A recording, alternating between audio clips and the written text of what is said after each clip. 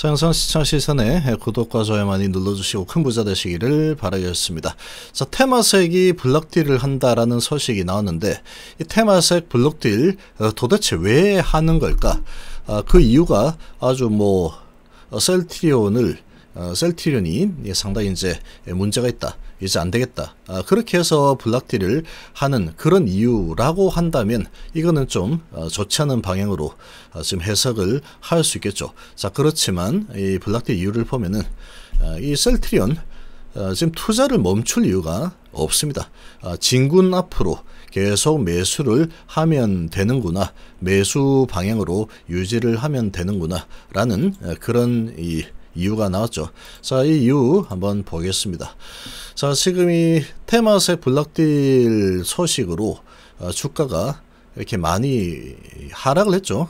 하락을 많이 하니까 어, 지금 6% 정도 하락을 한 상황인데 이 테마색 블락딜 여파로 어, 지금 6%대 하락을 하고 있는 어, 그런 지금 이 상황이죠. SLT는 3사 5,600억 규모 블랙딜 소식 약세인데 제약은 이 테마색에 지금 포함이 되어 있지 않죠. 어, 그런 상황인데 자 이 소식으로 아주 크게 하락을 하고 있습니다. 그래서 이런 부분에 대해서 이유가 나왔죠. 자, 이 회사의 내용을 그대로 믿으면 됩니다. 셀트리온은 상당히 신뢰성 있는 그런 기업이죠. 셀트리온이 그렇다 그러면 그런 줄 알면 되죠. 지금 셀트리온이 그렇다고 해서 아닌 적이 거의 없었습니다. 자, 주주님께 드리는 글 해서 나왔죠. 왜 테마색이 이 셀트리온 이 포트폴리오 이, 포, 이 셀트리온을 매도를 하느냐 아, 한번 보시면 전일 장 종료 후에 테마섹이 보유 중인 셀트리온 및 헬스케어 지분 일부를 블록딜 방식으로 시간외 대량 매매 방식으로 매각을 추진한다라는 내용의 기사가 아, 나왔죠. 금번 블록딜 뉴스가 단기적으로는 주가에 영향을 줄 수 있겠죠. 할인율이 있기 때문에. 그래서 단기적으로는 이렇게 흔들리고 어, 그리고 거래가 많이 터지는 게 에, 당연한 겁니다. 할인율이라는 부분이 있기 때문에 블락딜은 무조건 할인율이 들어가죠. 자, 금융시장 일각에서는 이로써 테마색 지분 매각 리스크가 일부 희석되었다라는 분석을 내놓기도 하고 있죠. 자, 이 테마색의 지분 이 변화도 한번 보겠습니다. 자, 이게 이제 테마색이 투자를 갖다가 지금 12년 동안이나 하고 있죠. 싱가포르 국부펀드인 테마색은 셀티리온 그룹의 성장성을 높게 평가해서 지난 2010년부터 무려 12년 동안 장기 투자를 하는 이 장기 투자자입니다. 자, 장기 투자를 유지를 해왔고 당사는 테마색이 투자 기간별 포트폴리오 조정 차원에서 어, 근본 블록딜을 진행했다라고 판단을 하고 있죠. 그러니까 지금 이 테마색이 셀트리온에 야 네가 이러저러 해서 어, 이렇게 외도하는 거야. 알겠어? 어, 그런 부분이 없다는 거죠.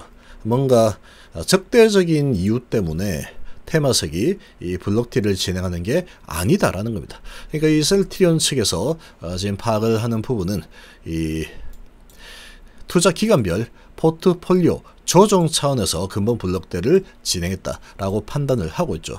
어, 셀티언 쪽에서 이렇게 판단을 하고 있다면 이 판단이 아마 맞을 겁니다. 자, 테마색과 같은 장기 우호 주주가 지분을 매각한다는 것은 피투자 기업으로서 아쉬운 일이죠, 당연히. 예, 그렇지만 여전히 테마색은 5% 가까운 지분을 보유를 하고 있습니다. 그리고 회사는 테마색과 여전히 우호적인 관계를 유지하고 있다 그러죠. 특별하게 뭔가 테마색하고 싸우거나 뭐 이런 에, 지금 테마색이 셀트리온에 대해서 아주 안 좋게 에, 에, 이렇게 이야기했거나 이런 부분이 없다라는 거죠. 여전히 5% 정도 지분을 가지고 있죠. 만약에 이게 테마색이 어, 이 셀트리온 안 되겠다 이렇게 생각했다면 7%다 팔아버리면 되죠. 7% 이상, 7.5% 정도 되는 거 다 팔겠지만 그렇지 않죠. 2% 정도 매각을 했는데 이거는 2020년도 4월 달에 예, 그때도 이제 포트 조정 차원에서 팔아서 뭐 다른 거 샀겠죠. 예, 그런 흐름으로 진행이 되는데 그런 부분에 연장성산에 있다라고 어, 보고 있는 거죠. 회사는 앞으로도 테마색과 협력하고 시너지를 창출할 수 있는 기회를 적극적으로 모색을 할 계획이다. 자, 회사는 테마색과 좋은 관계를 유지하는 한편 향후 장기 우호 해외 투자자를 확대하기 위해서 적극적인 IR 활동을 전개해 나겠다. 자, 이렇게 이런 소식이 나왔죠. 자, 이렇게 이제 이 소식이 나왔습니다. 그러면 이 포트 조정을 하기 위한 그런 이 판단으로 어, 보고 있는 거죠. 포트 조정의 판단으로 보고 있는 겁니다. 셀트리온 테마섹의 블록딜 추진 소식 관련 포트폴리오 조정 차원으로 판단한다라는 입장을 어, 밝혔죠. 자 이렇게 입장을 밝혔고 어, 테마섹의 이제 지분은 보유 지분은 셀트리온 지금 6.59%, 헬스케어 지분 6.63%, 보양 양사 3대 주주 이죠. 어, 전일 테마섹이 셀트리온 주식 230만 주, 헬스케어 주식 260만 주에 대한 블록딜을 결정, 국내외 기관 투자가 대상, 수요 예측에 나섰다. 이런 소식이 전해졌는데 추산된 블록딜 규모는 셀트리온 3,900억, 헬스케어 1,700억, 1,5,600억이죠.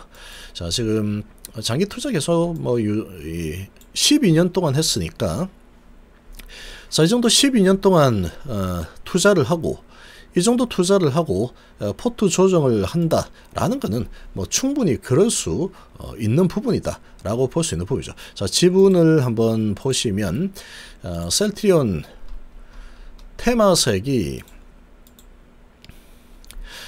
얘가 어, 지분 변화가 어떻게 어, 전개가 되었냐 라고 좀 보시면 이게 이제 에, 얘들이 테마석입니다. 얘들이 이온 인베스트먼트 아, BA 테마석인데 얘들이 지분을 7.48% 이렇게 가지고 있죠. 7.48% 가지고 있는 상황인데 얘들이 2020년 4월 2일 날 어, 257만 주 정도 어, 매도를 했죠.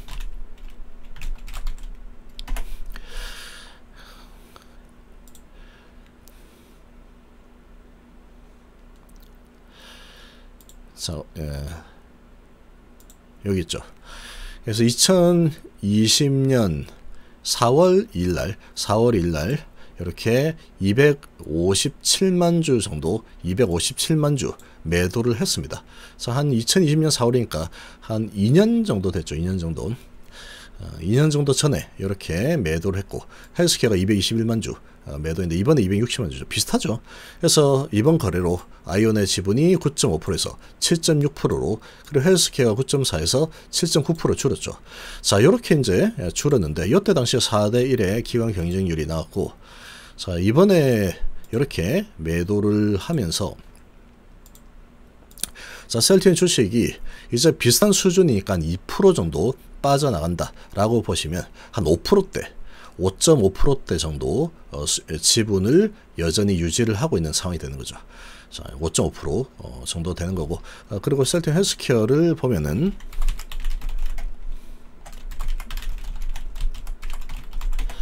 셀트리온 헬스케어 같은 경우에 지금 여기는 이렇게 나오지 않는데 셀트 헬스케어도 어, 지분이 여기 내용을 좀 보면은 7.9%죠. 7.9% 어, 수준이었으니까 2% 정도 줄이면 어, 지금 이제 6.9% 정도 되겠죠. 한 6.9% 수준의 지분을 보유하는 상황이 이제 만들어지는 거죠.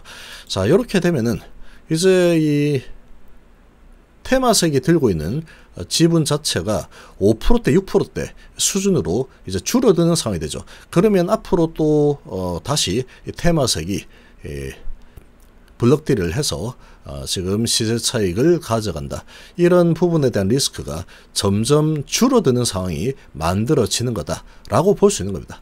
테마색이 지금 12년이나 투자를 하고 있기 때문에 지금 얘가 이제 2년 전엔 이렇게 투자했으니까 10년 만에 2조 6천억 정도를 벌었다. 이 소식이 나왔죠. 그러니까 지금 12년이 된 상태죠. 12년이 된 상태에서 이제 지분을 추가적으로 더 줄여서 이제 5%대 6%대 수준의 지분을 가지고 있는 그 정도 상황이 이제 만들어진 겁니다. 이렇게 이제 진행이 된 상태이기 때문에 어, 어찌 보면은 앞으로의 상황을 본다면 이 테마 색에 대한 지분이 예, 추가적으로 나올 수 있는 부분이 이제 아주 한정적이다. 테마 색의 블록딜에 대한 위험성, 어, 그런 우려감 이런 부분이 상당히 많이 해소가 된 그런 지금 상황이다. 라고도 볼 수가 있는 겁니다. 일각에서는 그렇게 또 바라보고 있다. 이런 소식이 나오는 거죠. 그래서 지금 이 매각의 이유는 별거 없습니다. 테마색이 이제 12년 동안 투자하고 그리고 회수를 하고 그 돈 가지고 또 다른 곳으로 또 투자를 하는 그런 어, 포트 재구성 차원에서 어, 포트폴리오 조정 차원에서 어, 지금 매각을 한 그런 상황이다라고 보면 되겠죠.